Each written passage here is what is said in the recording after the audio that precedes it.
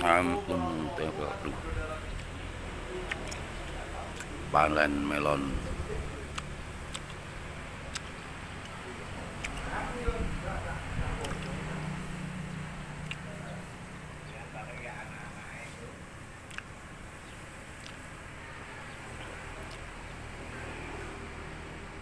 Ini hasil dari sawah ukuran 5 meter persegi